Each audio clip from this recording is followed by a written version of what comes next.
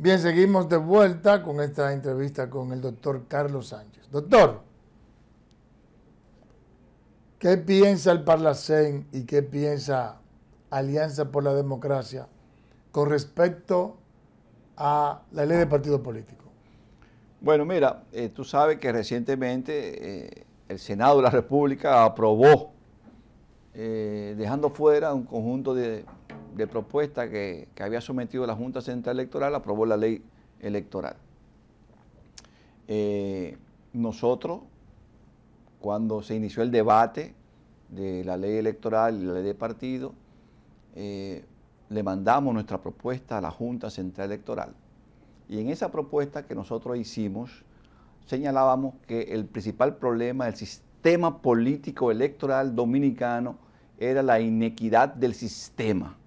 Y que en esa inequidad del sistema, el problema básico era que había un alto gasto de dinero en la campaña y que no había control del gasto en la campaña. Por lo tanto, la persona o el partido que más dinero invertía en la campaña era, era a su vez la organización que más posibilidades tenía de ganarse una tajada. Que generalmente el gobierno. De, las, de, los puestos electivos, que generalmente pasa por los partidos eh, tradicionales y los partidos que dirigen los gobiernos. Pues eso sigue igual. Y eh, el Senado lo que aprobó fue recientemente eh, o dejó fuera lo que la Junta estaba tratando de corregir, que tampoco era una propuesta revolucionaria la Junta, pero iba a, hacer algunos aportes eh, para corregir problemas del sistema, entre ellos bajar el tope de gasto e iniciar un proceso para el control del gasto. Bueno, lo dejaron fuera. Por tanto, el sistema eh, político electoral dominicano se pone más opaco, menos transparente, donde eh, los que tienen posibilidad de ganar candidatura son aquella gente que tiene mucho dinero, no importa de dónde provenga, incluyendo del narcotráfico, que es lo que ha estado pasando en muchos casos en la República Dominicana. Entonces nosotros en la APD, que hoy tenemos una reunión, estamos convocados en, la, en el Congreso de la República, vamos a externar nuevamente nuestra posición de que hay que tener un control del gasto y que bajar los topes del gasto y que también hay que eh, eh, poner atención para eh, democratizar más el sistema en el sentido de que la paridad de género en, la presentación de candidaturas en las listas eh, municipales, congresionales, tiene que ser equitativa entre hombres y mujeres. esa es nuestra postura, la vamos a reiterar en la reunión que vamos a sostener esta tarde a las 2, junto con otros temas más que nosotros entendemos que pueden mejorar el sistema político electoral.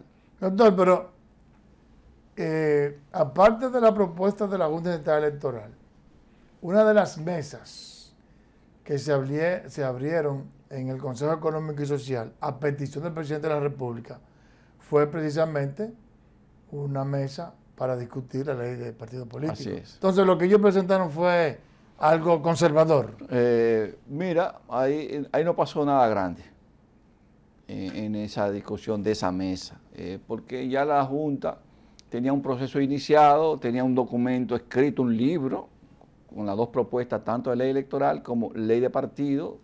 Ellos hicieron su trabajo. Eh, el Congreso también sacó una comisión, una comisión especial. Sí, pero el Congreso siempre saca una comisión para dañarlo todo. ¿eh? Eh, entonces, realmente la mesa como que no tenía mucho sentido, ¿verdad?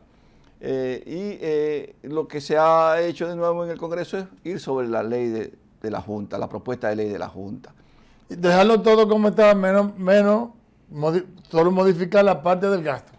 Lo que yo entiendo que va a ocurrir en el mundo, el mundo, lo que yo entiendo que va a ocurrir es que eh, en las próximas elecciones que serán celebradas en el 24 en nuestro país, nos vamos a ir con las leyes anteriores. Eso es lo que va a pasar.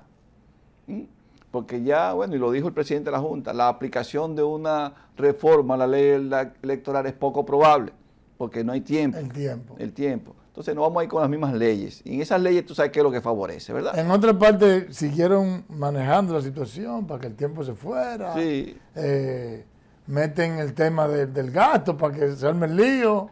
Sí. Y todo se quede igual. Así mismo. Doctor, Esa es la estrategia del gato pardo. Así es. Que todo cambie para que nada cambie. Pues, exactamente. Doctor, una otra pregunta que ha causado mucha controversia. Y ha sido la propuesta de ley de fideicomiso público. Muchos piensan que esa es una ley que viola la, constitución para empezar. ¿Cómo lo ve Alianza por la Democracia? Mira, en el caso particular voy a emitir mi opinión. Eh, lo privado debe estar en el ámbito de lo privado, haciendo negocio en lo privado y lo público en lo público. Esa es mi posición. Lo privado no debe hacer negocio o ganar dinero a costa de el sudor y el trabajo y la generación de riqueza de la población que se expresa a través Como ahora que quieren que le, den Punta Catalina, después que está dejando cuatro. Totalmente.